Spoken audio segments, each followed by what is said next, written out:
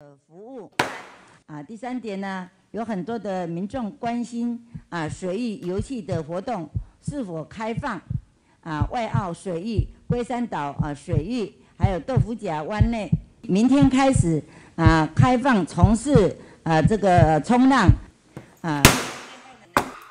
尽管啦！嗨，各位好，我是 Darren。终于啊，终于北部海边要解封了，但解封不等于安全。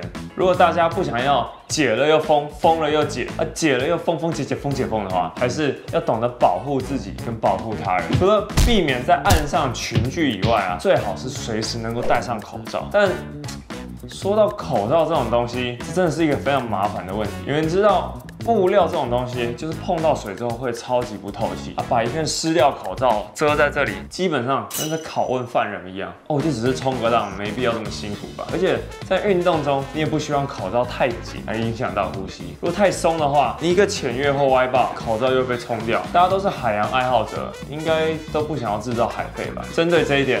最近各家运动大牌都陆续推出他们自己的运动口罩，有几款甚至标榜能够下水，他们是不是真的那么屌？今天就在这边帮大家测试。之前在 Instagram 上面有问大家有兴趣的口罩，只要台湾买得到的，我尽可能帮大家实测。唉，对不起，我已经打给我日本朋友，请他帮我带一个 Billabong 冲浪口罩，挂几件寄到台湾。但就连在日本的它，好像各大门市跟运动用品店都一罩难求，你知道吗？但是在收集口罩过程中，我发现有一家台湾土生土长的品牌，Hopo Hopo，也有做类似这种标榜能下水的口罩，所以今天就在这边帮大家实测。那我要强调，没有任何一家厂商付我钱要我说好话，所以等一下的实测中，如果遇到什么使用上问题或者设计上瑕疵的话，我绝对。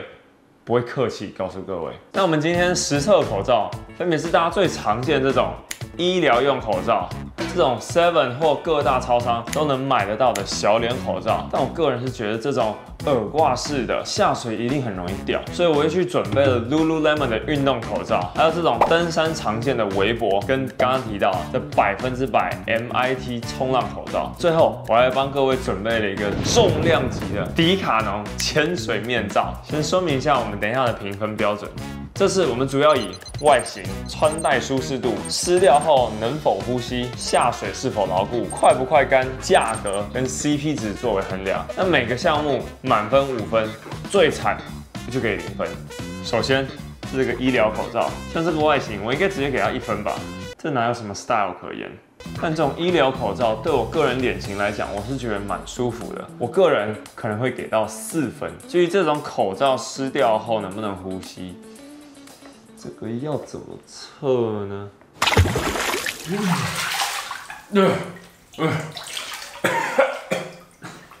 啊，不行啊，那个那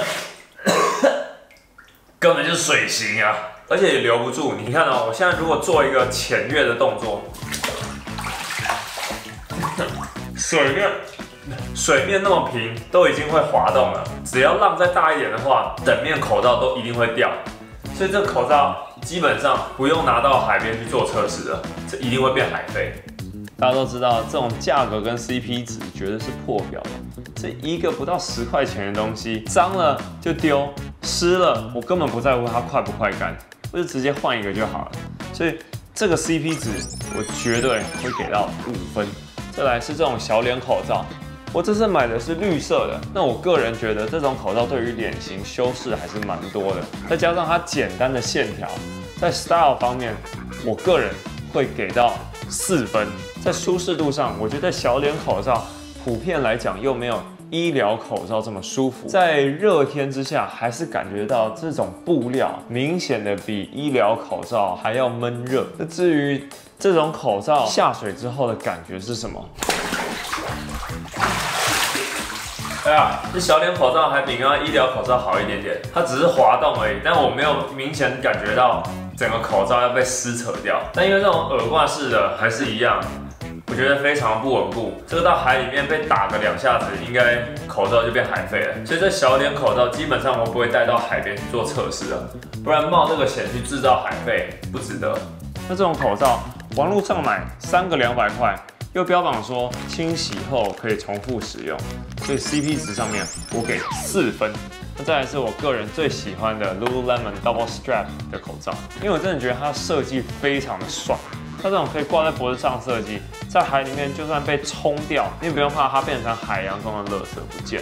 而且在外观上，我觉得有点像刚刚的小脸口罩。我个人还蛮喜欢这种简单，然后又非常锋利的线条。在外观上，这个 style 我给五分，而且它这布料非常服帖，是我目前戴过最舒适的布料。所以在舒适度上面，我也给出了我自己的满分五分。至于这种布料到底下水有没有办法呼吸？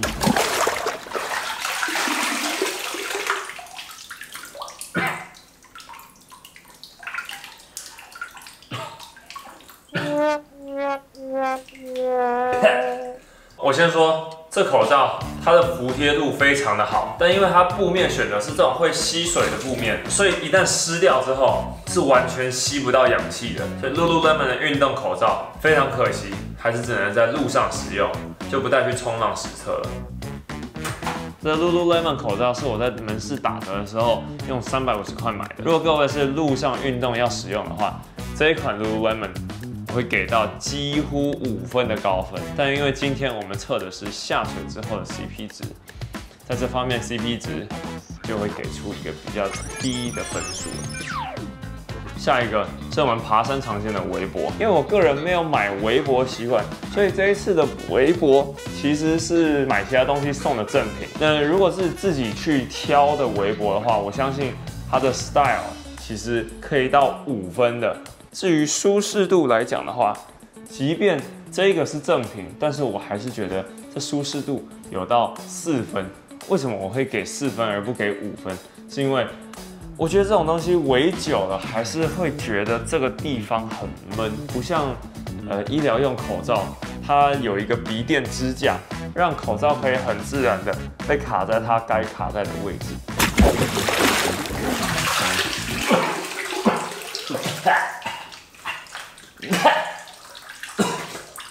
完全吸不到气。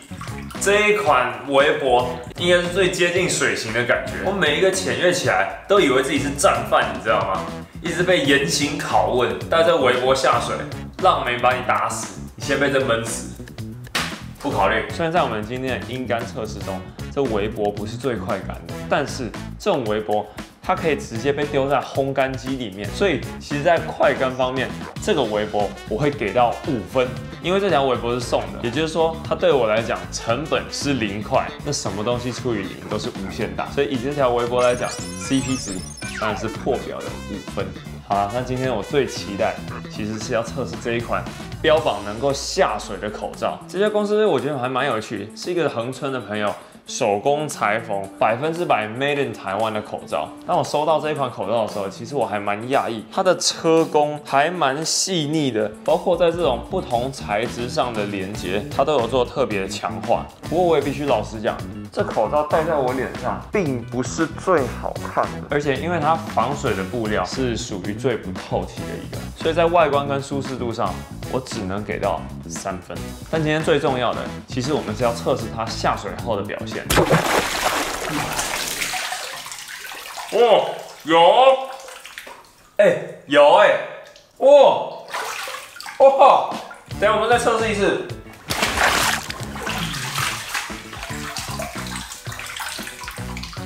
哇塞，哇塞，哎，这可以耶，这个可以耶。这是目前唯一一个不会掉的口罩哎，因为这口罩是挂脖子的设计，所以就算真的被冲掉的话，它也不会变海飞。哎，这款真的可以带去海边实测一下哦。铁定第一冲啊，我们下水了。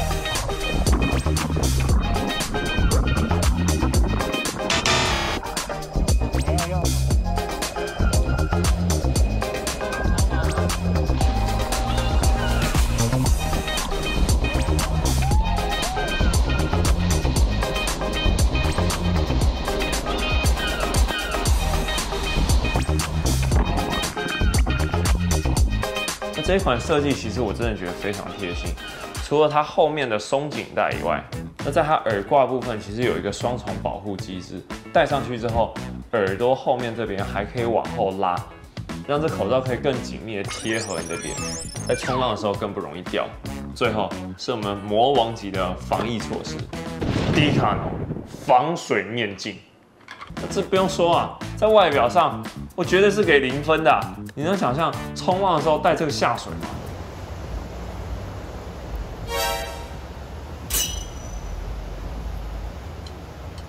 然后在舒适度上面，这非常吃脸型。这，然后在舒适度上面，这非常的吃脸型。像我就觉得这个面罩这两边硬硬的部分会一直压到我的颧骨。以我个人来讲，这舒适度我只能给到两分。这没问题啊，这口罩，嗯，对，这这超级没问题的，你知道吗？这防水性没话讲，在水里面当带还能张眼，但如果有浪的话，可能真的比较危险一点点。不过会拿这一款来测试，其实也是娱乐效果比较多。